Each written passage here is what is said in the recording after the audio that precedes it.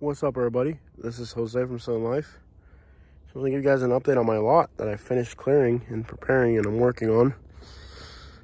Brought some palm trees over here. As you can see, I've completely cleared the lot. I mean, there's still a lot of work to do here, um, but we have one royal palm tree, Cuban royal palm tree. These little guys. These are already here, but I cleaned them up. And um, show you guys what we got going on here. Now that we've cleared the lot, there's um, another Cuban royal palm tree there. So those are the front corners of the lot. We want to have two Cuban palm trees in the front on each corner. Um, as you can see, we've done a lot of clearing here. Spent a lot of work to get this lot like this. Um, I had it on the market, but I took it off the market. I'm pretty sure I want to build my house here at this point, but it's going to be a long process. Show you guys, I put a banana tree here, and today, so the property line's like this, kind of like this. So I'm going to make a line of palm trees and fruit trees all the way around the edge of the property so that when I'm ready to build a house, um, the lot's very well defined. The builders don't like that, but I'm not going to go with a builder. I'm going to go with uh, owner, owner, uh, owner build. Long process. I got these palm trees here. And I got these types. So this are the two natural palm trees that are here. You got these bigger ones, which I'm going to clean up.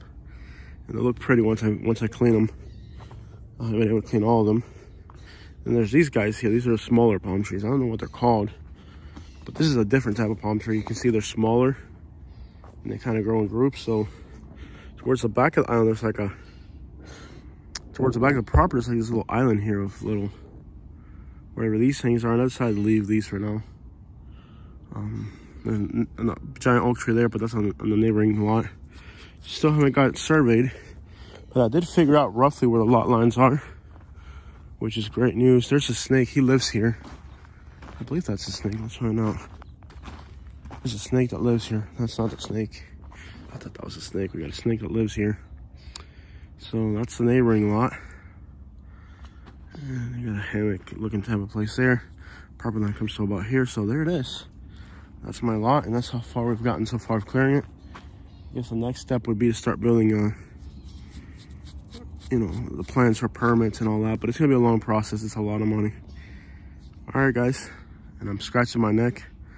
I finally hit poison ivy again. I don't think we'll be hitting too much poison ivy moving forward. I've pretty much cleared most of the vines and all the trees that aren't palm trees and stuff. So everything is a lot. It's got a lot of palm trees and. uh I like palm trees a lot. We're surrounded by oak trees, palm trees, and poison ivy. Check it out from my beautiful piece of land in Southwest Florida. I hope you guys have a beautiful day. I'm off to work.